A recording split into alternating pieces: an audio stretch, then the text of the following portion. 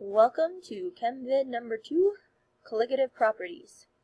So if you recall from last time, we did molarity, molality, and parts per million. Molarity is used for dilutions and solutions. That's what we did in the Kool-Aid lab. And molality is used for, ta-da, colligative properties. So pretty. Okay, so colligative properties. Let's start this thing. Okay, colligative properties are physical properties that only depend on concentration. Alright, so physical properties is boiling point, you can have color, you can have, you know, any of those physical properties we talked about. Colligative properties um, is just a bit narrower. It has only to do with concentration. So it's when you're making a solution or changing the concentration of a solution. Those are the properties we're talking about. Alright, so only on concentration. Um, let's see. Osmotic pressure is pressure caused when it's okay. Sorry, start over. Osmotic pressure is a one of the colligative properties. All right. So osmotic pressure is when water molecules move in or out of a solution. And the reason why it is a colligative property is if you look at the diagram, you can see that we have a high concentration of molecules over here, sugar molecules.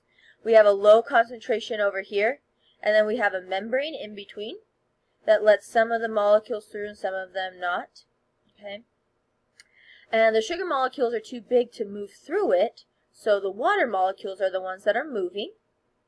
And that pressure that we're talking about is the pressure to go through that membrane. So the molecules are, are literally pushing their way through the membrane. And that's what we call osmotic pressure. So um, just like you learned in biology class, when you have something with a high concentration and a low concentration, we like equilibrium. Everything likes equilibrium. So the water starts to flow over to the high concentration and is trying to make sure that both sides have the same concentration. One's not high, one's not low. They're trying to equal out. All right, and that's why water moves through the membrane. So osmotic pressure is a colligative property. It depends on concentration. The next thing is vapor pressure. So vapor pressure is pressure caused when liquid particles have escaped the surface of the liquid and entered the gaseous state. You may recognize this as um, vaporization. Vaporization is when you boil water and it goes into a gas, right? Boil a liquid and it goes into a gas. Well, that pressure that it has to overcome in order to become a, ga a gas is called vapor pressure. So when you heat up the molecules, they now have enough energy to exit the liquid state into the gaseous state and they can overcome that pressure that's holding them down. If all right? So that's what vapor pressure is. Now, how is vapor pressure a colligative property? Well, let's take a look, and you might want to draw down this diagram because it's a very good one to know. But if you look at A, these solvent molecules, I'm going to call them water, but it can be any solvent. These water molecules are going in and out of gaseous and liquid. All right, you know that liquids tend to, they have intermolecular forces. And once you overcome that intermolecular force, you go into the gaseous phase. And once you, um, if they're too close together, they'll come back into the liquid phase. They'll condense, you know, if they don't have enough heat energy. But um, they just go in and out like normal. But if we put in a solute, um, a non-volatile solute. Now before we go on, anybody know what non-volatile means? Non-volatile means that they don't evaporate. Okay, so whatever you have in there is not going to turn into the gaseous phase. We usually think of these as ionic compounds, like um, salt, which is, yes, you guessed it, any metal or non-metal compound. A salt is an ionic bond. and um, they, remember, they dissociate into our liquid, but once the liquid's gone, they come back together into their solid form. They don't turn into a gas. So that's what we mean by non-volatile. These guys don't turn into gases. So they're not going to evaporate like water does, but instead they just get in the way of the water trying to evaporate. So if you look, you have water molecules that are trying to get out into the atmosphere, but these solutes, these non-volatile solutes, are blocking them. They can't get out. And so if they can't get out, then um, they have, okay, so if they can't get out, they get stuck as a liquid, and it takes much longer for them to evaporate because they have to get actually more energy than they would originally, like in this guy. They have to get more energy so they can get around those solutes and get out. All right, so vapor pressure is also based on concentration of your solute. All right, so question is, what will adding a non-volatile solute do to a pure sol uh, solvent? Well, it does this. They block the molecules from evaporating. It slows down evaporation, it slows down boiling point, it messes with your melting point, it messes with anything where you're talking about your molecules shifting from one energy level to another energy level. So any phase change is going to be affected by that. All right, Concentration. Concentration is what we learned of before with molarity and molality. Those are ways we measure concentration. But just so you know, concentration is just how much solute there is in a solvent. So a high concentration means there's a lot of solute. Um, low concentration means there's a little bit of solute per solvent ratio. All right. All right. So over here, we have draw two models, one of a pure solvent with vapor particles escaping, and one of a solvent uh, solution with vapor particles escaping. And why does a dissolved solute reduce vapor pressure? So that's what I explained here. This is my picture, okay? And I drew the particles, and now I have two particles and they're escaping, and then I explained it to you. I want you to do that on your own right here. All right, so you draw your own picture, and you can do that right there. All right, all right. So you can come back to that, or you can pause the video and do that. Next, how does molality relate to boiling point and melting point? Well, let's take a look at this guy right here. Like I said before, boiling point is when the liquid has enough energy to escape the vapor pressure and go into the atmospheric pressure, correct? So, if my bubbles can, if my gas that's formed down here has enough energy, it comes out. Evaporation is just when those intermolecular forces break and they're able to, the molecules are able to escape. Okay? So, molality deals with concentration. It's how much solute is in your solvent. So how do you think a solute will affect the boiling point? Okay, so boiling point, if I have that solute in there, it actually causes uh, my water molecules to not be able to escape as fast. So that means that the boiling point is actually going to increase. Alright? You're going to have to give these guys more energy in order to overcome the solute. So the more concentration, the higher the molality you have, the higher the boiling point. Now melting point is the opposite. So melting point is saying all of these guys with lots of energy are going to have to come together and form those lattice structures. You know, like um, ice will form crystal lattice structures. And if they're trying to come together, but there's a molecule in their way, well, it makes it very difficult for them to freeze. So what does that do to your freezing point?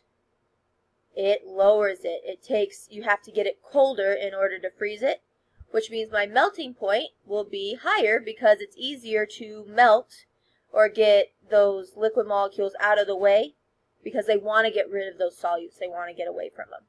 So boiling point increases, melting point increases, freezing point decreases with molality, with increased molality. All right. Is boiling point elevation directly or indirectly related to molality? I want you guys to answer that.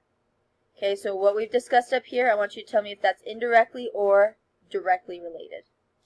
All right, let's move on to how we calculate this. All right, so now you know what a colligative property is, and now we are going to do some calculations.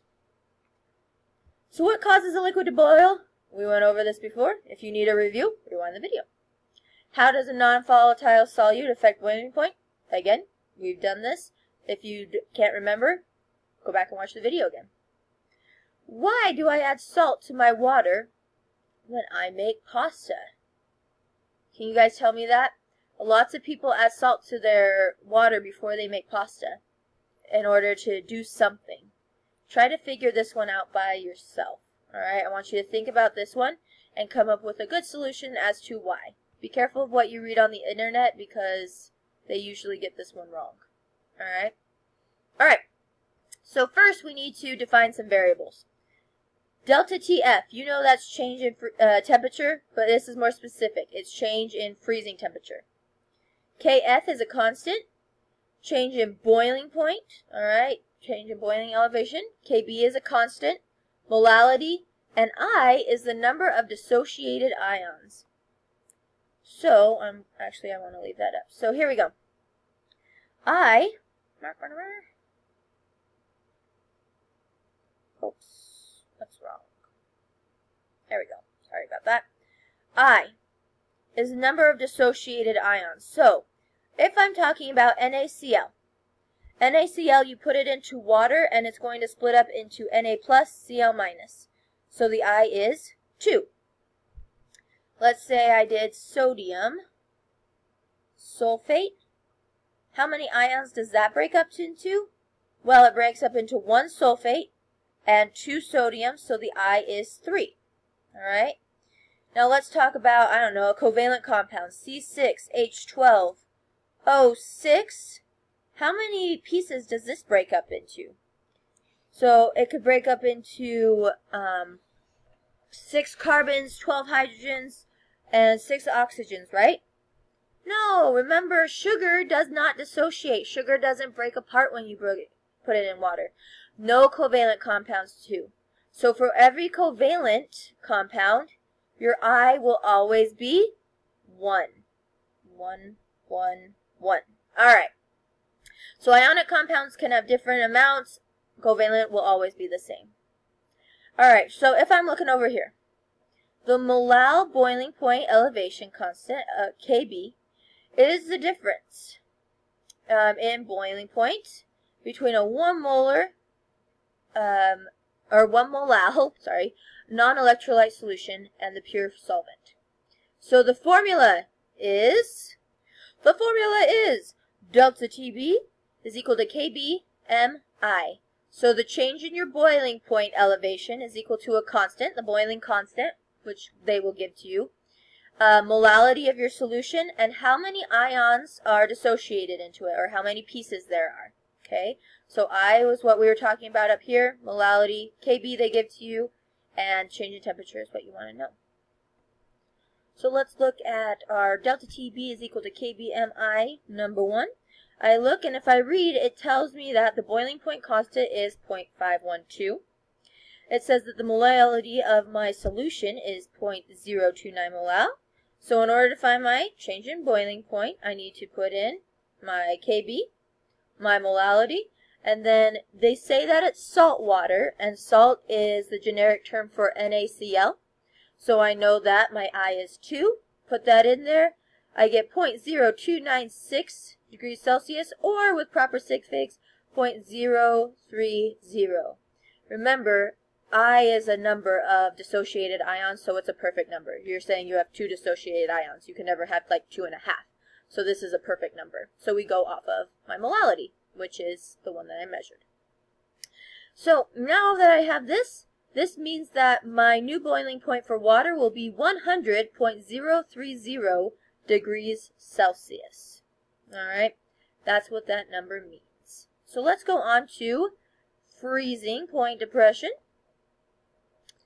Freezing point depression is very similar to boiling point depression. So here's your equation, right over here, da da da da, right there. I want you to answer these questions, the formula, and the example question before class, and we'll do questions 1 through 5 below in class. Alright, thank you for watching, and I hope you learned something.